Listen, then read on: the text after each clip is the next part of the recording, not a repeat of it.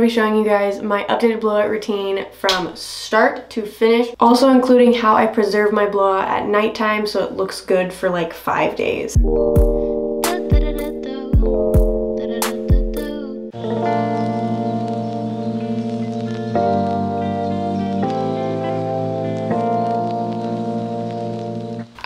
Just took a shower, so my hair is wet and ready to be blow dried. I have obviously done like a million blowout routines at this point, but things do change along the way, new techniques and all that stuff. You do not need to go and buy all of the products in this video. The main thing that I want to be taken away from this video is the technique and stuff that is being used. You do not need to spend a million dollars on products to get a good blowout, but I am including the products I'm using because I've tested out so many and I think I truly have found like the best ones. And I know I'm gonna get asked onto what products I use. I have not put anything in my hair. I just shampooed, conditioned. Also, I just wanna mention that I do use a microfiber hair towel. Further protect my hair. Just normal towels can really like roughen up the cuticle of your hair and make your hair super frizzy. So going in with a microfiber towel also just helps with frizz. I'm first gonna be going in with leave-in conditioner. I go in with leave-in conditioner anytime I wash my hair because my mids and ends are always extremely dry. No matter if I air dry or blow dry, it doesn't matter. I've just always had an issue with my ends being dry. When I'm posting this, it is November right now. The weather is just more on the dry side. My hair always struggles during this time of year and we don't want dry hair because if your hair is dry, it's more prone to breaking off. So I go with leave-in conditioner just as an extra step to keeping my hair hydrated. This next step is a little controversial. I see so many people arguing on if it's good or not, and that is is going in with hair oil before you are going to be using heat on your hair. People compare it to like frying food and like that means you're gonna fry your hair. But this oil in specific has heat protectant. I take like four drops of that and apply that to my mids and ends. And this hair oil can be a little bit heavier and I do have fine hair so I don't go in with like a bunch. I always brush in like all of the products as well because I feel like it really makes it get on all the hair strands and you want to be getting all of the benefits from the products you're using, especially if you're using more expensive products. The main reason why I'm going in with hair oil on wet hair though is it really, really is just another step in helping with my hair not frizzing up when it's dry. I also just want to point out I am using this brush called the Unbrush and this thing went like super viral on TikTok and I thought it was going to be complete bullshit and it's actually pretty great. It's not like, oh my gosh, you need to go run and buy this if you already have a detangling brush, but if you're looking for a detangling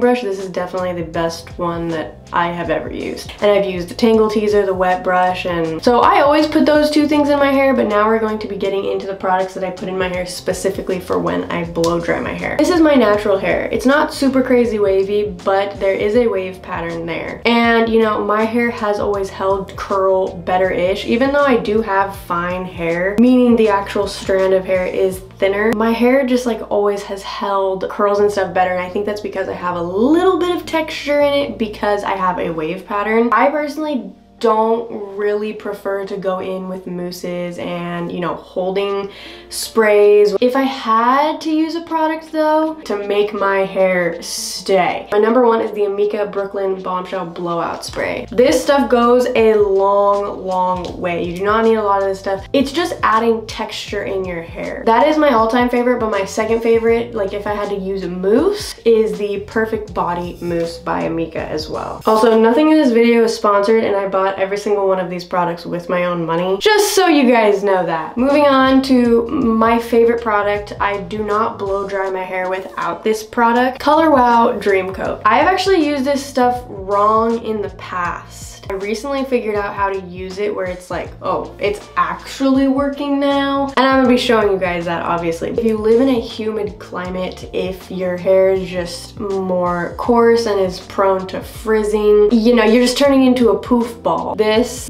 really, really helps. I go in. I've seen a lot of people get this product and like, this literally didn't do anything. One of the biggest mistakes is not using enough of this product. It's totally understandable. This product is more like on the pricey side. You have to like low-key go in with like a lot to get it to work. You have to like go in. I cannot like say that enough. I don't section.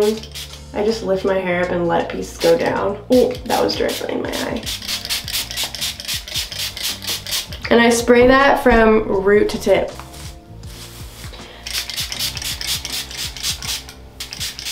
This is just like the normal version. There is a curly version for like coarser hair. I think everyone watching this has at least heard of the word silicones. You know, there's some people that are like super against silicones and I am not one of those people. As long as you're clarifying your hair every two weeks, like two or three times a month, you're fine. And whenever I mention that Dream Coat has heat protectant in it, all the comments are no it doesn't. Pretty much anything with silicone in it is actually acting as a heat protectant because it's putting a coating around your hair and protecting your hair. But I do have a favorite heat protectant and this is the Maria Nila Heat Cream Spray. And I don't spray it directly in my hair because it's like an actual cream. It's not like a liquid at all. And I kind of wish they would just make it in a pump. I do like to go in with this just on my mids and ends just to add a little bit more protection because I'm a hair care freak, you know? So that is it for the product prepping. Now we're gonna actually get into blow drying my hair. You never want to go in on this wet of hair with a blow drying brush like this or the Dyson Airwrap. You actually want your hair to be like 80-ish percent dry and that also just depends on every single hair type. You obviously don't want to completely dry your hair when you have curly hair because then your hair is to be like freaking huge and a big giant puff ball. And you do want your hair to be more on the wet side when you're sleeking it down. But if you have like straighter hair, you want your hair to be more on the dry side when going in with these tools. I am just going to very quickly rough dry my hair with a normal blow dryer. I do tend to use more expensive tools. You do not need an expensive freaking blow dryer to blow dry your hair. The reason why there's such a huge price difference in heating tools, some of them are $10 and some of them are $700. One with Dyson is a name brand thing. It's Dyson. They're gonna rack up the price because their name is Dyson. The main reason is the quality of the product. We're talking materials that are being used and mainly the temperature that they are regulating. So if you're using like a $20 Conair blow dryer from Target and you're blow drying your hair and it says it's like 250 degrees, it might be at like 400 degrees. But if I'm using the Dyson Airwrap and it says it's at 250, it is very much at 250. I literally had no idea that was why for the longest time. So that's why I always say that in these videos. If you're using heat protectant and you're not using heat more than like once or twice a week, you're honestly gonna be fine. But no matter what, if you're using heat on your hair, you're gonna get damage. It doesn't matter if it's a $700 tool, it doesn't matter if you're using heat protectant, there's going to be more damage than not using heat. I filmed this last year, but I feel like it's so important to show. I went to a hotel, I had brought my Dyson blow dryer because I knew I was gonna wash my hair. But there actually was a blow dryer there. And I looked it up and this blow dryer was literally like $10. And I wanted to show it's all about the technique. It doesn't matter if the blow dryer is $500 or $10. This is the Dyson and this is the $10 one. It does the same exact thing. It's all about pointing it down and knowing how to sleek down the hair properly. No matter what blow dryer you are using, you need a nozzle. You need that air concentrated exactly where you're going because you need it to be pointed down. You're like sealing the cuticle. That's what's gonna give you shine. It's all about the technique. Dream Coat is activated by heat. Another huge mistake that I see people use with this product is they're not using a hot enough setting. I usually use the lowest setting on all of my tools. People are using specifically flat irons to get the super shiny, like waterproof hair from Dream Coat. And you know, I was looking more into it. It's because you have to use more heat. You're wasting your money if you're not doing the correct things when using Dream Coat. There's no point in even using it if you're not gonna activate it properly. That is also why I go in with a little bit of more heat protectant because I know I'm gonna be using more heat. When doing this, I am doing the second one because it's hot enough and then I'm gonna be using the hottest setting when we go into using other tools.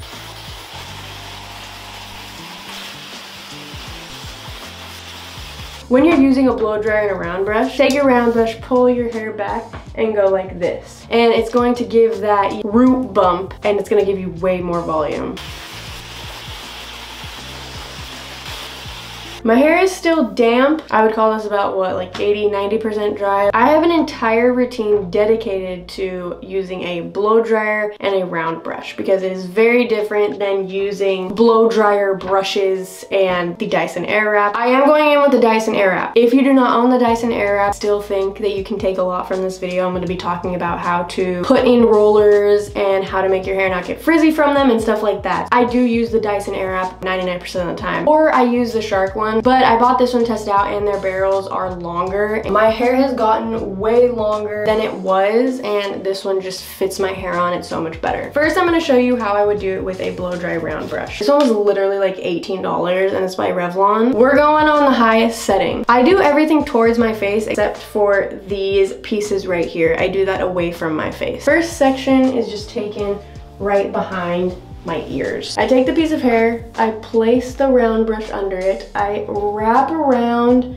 the mids and ends, and you're gonna slowly, slowly, slowly bring it down. You can completely let it out and do a few passes if your hair is more frizzy. Once you've gotten the sleekness that you like, you bring it on the ends, you wrap, you wrap, you wrap, and then you wrap it back up, you let it sit for a second, you hold the top, and you let it out in a curl. And you're not gonna brush out that curl, you're gonna just let it lay down.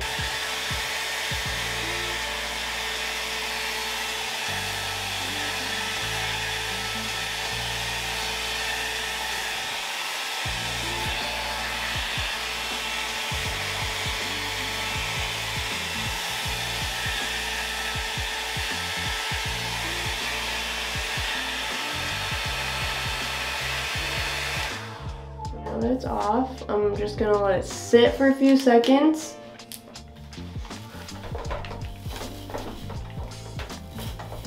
And let it out. And now you have a curl. Taking the same size piece on the other side and I'm gonna be showing you with the Dyson Airwrap. Going in with the hotter setting, it's always painful for me to do this. I will say I've actually been doing this for five-ish months now and I have not seen a difference in my ends, my hair's health. If I've gotten more split ends or anything like that, like my hair has not changed in a negative way. With the Dyson Airwrap, I do like to elevate my hair like this. Before I wrap it up, I let it sit right here and smooth out the ends because one thing with the Dyson is if you instantly roll it all up, your ends can be kind of like frazzled. Figured out it's because when you do that, they like pretty much crimping like frizz into your ends. I always pump it with cold air at the end. It helps give it shine, it helps it lock into place. Then I let it out, and obviously you can see that there's quite a bit of a difference. This is going to fall. A lot of people when they get the Dyson, they're under the impression that it's like a curling iron. It's not. The whole entire point of the Dyson is supposed to give you a blowout. This is not supposed to stay here. This is supposed to fall down to here, but there are ways that you can keep more of a curly blowout. And if you're going in with a round blow drying brush, it's not not going to be as curly as a Dyson or a curling iron. And it is fairly quick. A few weeks back when I filmed my Halloween Get Ready With Me, I did film the entire time I was doing blowout. I did my blowout routine with my rollers and rough drying my hair in 32 minutes. Like that is absolutely insane to me. That is also why I use the Dyson because it's, it's quick as hell. We're gonna speed through doing this section and I'm not putting rollers on the bottom section. Now that my hair is more on the long side, bottom section falls the most for me. It's just like more rollers on my head and it looks exactly the same if I don't put rollers in or if I do.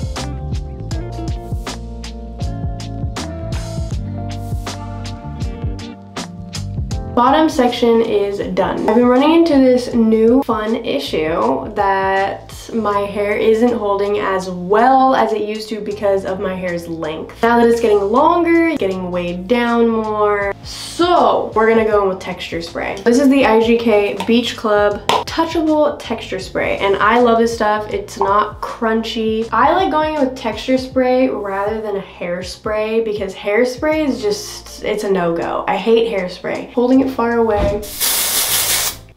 But oh, this stuff like weirdly smells like pepper to me. I will sometimes just kind of go like this. You know, you can feel the texture. It obviously you can feel a little product, but it's not like crunchy, you know, because I hate that. We're gonna throw those back there. Now we're gonna move on to our next section. I work in three sections. Bottom section, side sections, mohawk middle section. I go right where my curtain bangs kind of start and I go straight back. I do one side at a time, just so it's less hair in my face. We start, why? Why is that happening, Mr. Toilet?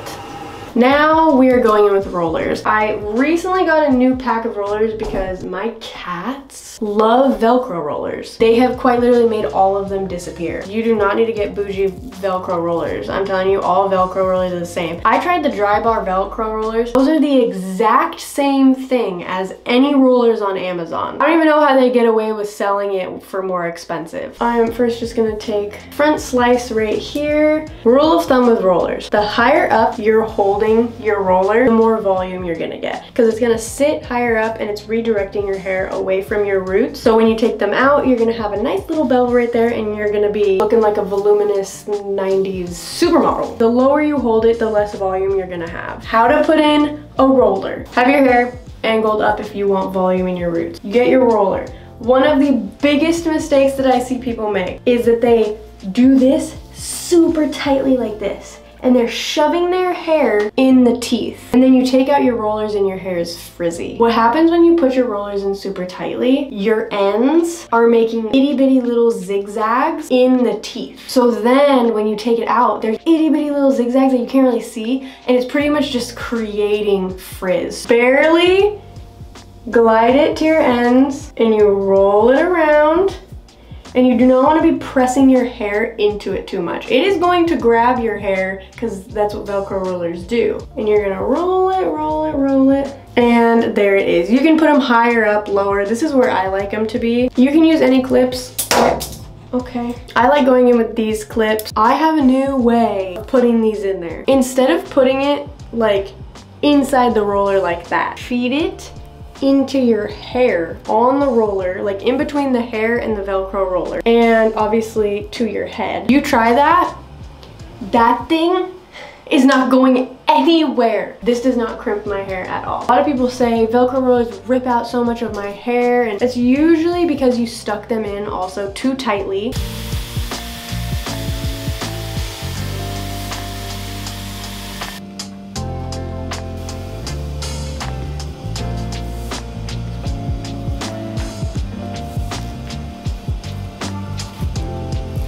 Link the exact rollers that I got, but the ones that I use most of the time on my whole head are, I'm pretty sure they're an inch. So this one piece I do away from my face, all the rest is going to be towards my face.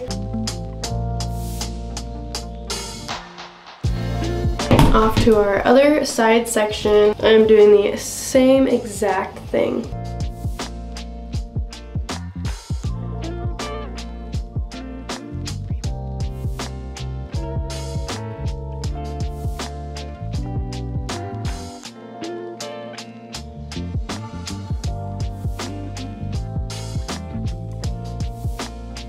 Another reason that I forgot to mention why I blow dry my hair under, if you have breakage or new growth that is coming in, or a bunch of layers. It looks like you have a bunch of flyaways just everywhere. All those little hairs are going like this, like under. So then they're all being hidden. If you went out and were flicking everything up, all those flyaways would be flicking up on your entire head. Now we're on to our last section and I'm just gonna start at the back. I'm going to be blow drying them like this. And technically it is going like away from my face, but it's going under.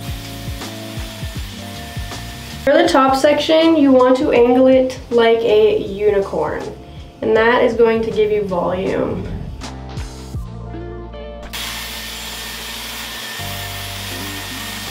Okay, I'm gonna show you guys a little hack on how I fit more rollers on the top of my head. I am gonna stack this roller on top of this roller. I don't have enough room. Clip them together like that.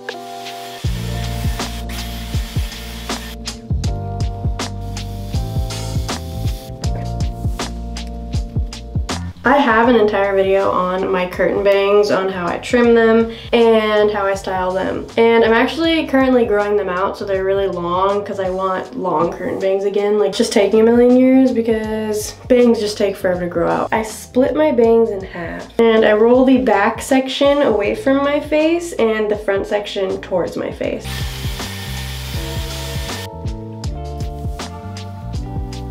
The most important things with bangs is you really want to make sure that this is like going straight up or you're going to have no volume right in the front of your face.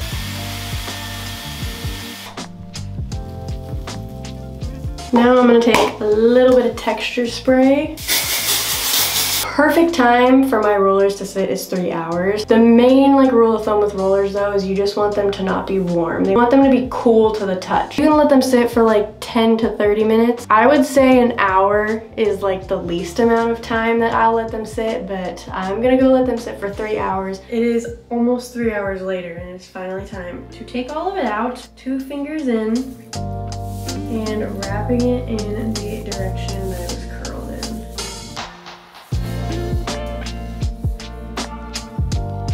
And then instantly when I take it out, you can see that this is like going straight out and that's exactly what we want because that is giving volume.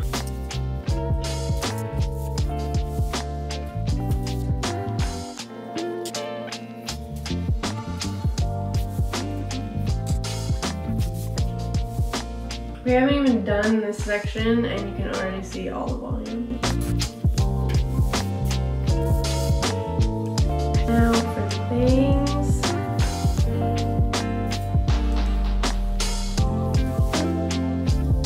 And I kind of just run my fingers through my roots.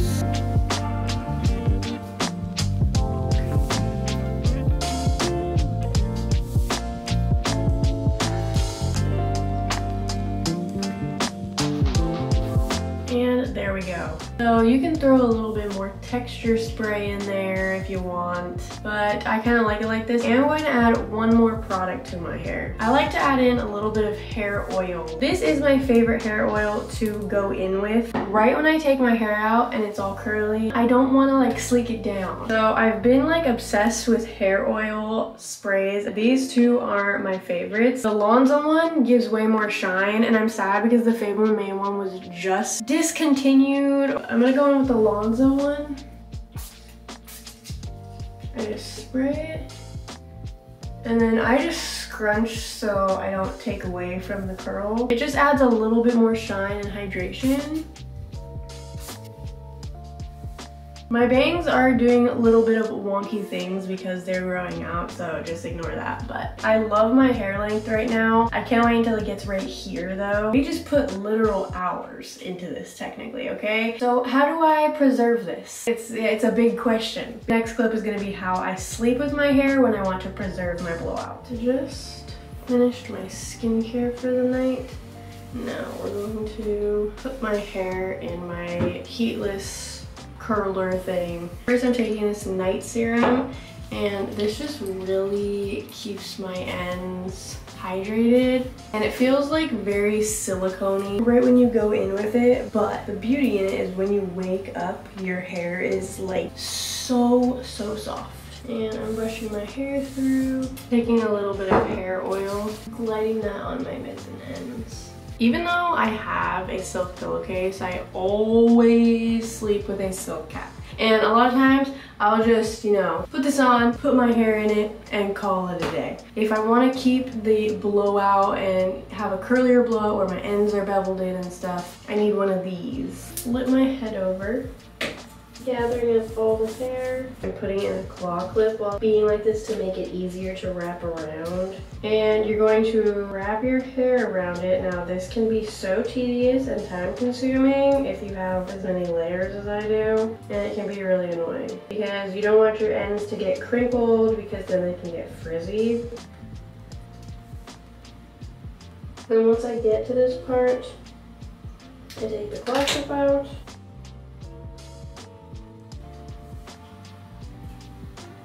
I'm going to put the ends together like this. Take a scrunchie and tie that, and there you go. You can spray it with water and stuff beforehand. I don't like to go in with water because it can just make my hair frizz. Sleeping with a silk cap just really ensures that it's not gonna be coming out and that no frizz is gonna happen. So yeah, this is what I look like pretty much every single night. You will see it is so worth it in the morning.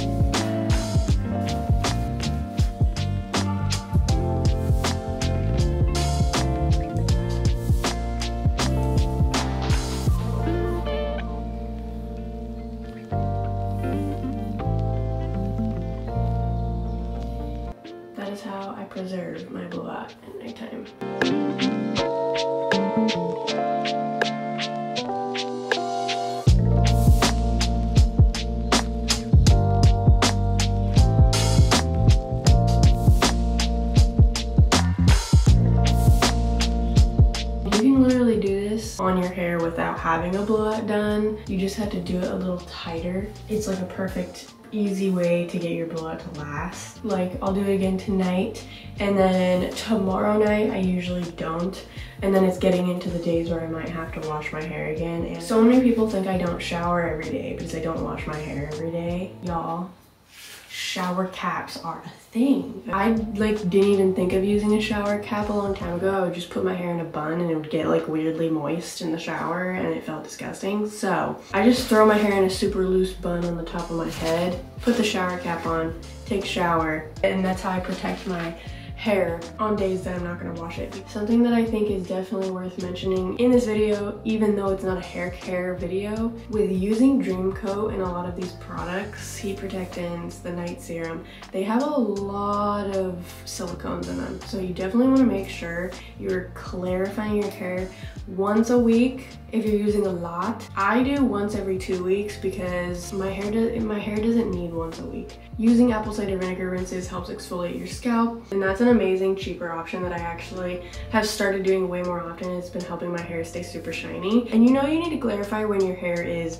dull, it's being super weighed down, even after when you wash your hair you feel like there's like stuff in your hair. So it kind of feels like you haven't rinsed out all your conditioner. Sometimes an apple cider vinegar rinse isn't enough and you need like an actual clarifying treatment. I use is the redken cleansing cream. This stuff is seriously magical. A lot of hairstylists use this. This is what i use once every two weeks to keep my hair from not building up because i know i use like a shit ton of products. I think that's everything. If you want to you know go down a hair care journey i do have have quite a few hair care videos. I uploaded one not long ago and that is still my updated hair care routine. Like I'm still doing everything in that video right now. I think the next updated thing I have to do now is my skincare routine. I've been getting a bunch of questions on it because you guys have obviously noticed my skin is very clear and a few things have changed. So I'm gonna get on that. And I love you guys so much and I'll see you in the next one. Bye. I don't know if you like the way I put my words together, but I need you to stick with me just like some birds of feathers. Or like bricks to scale.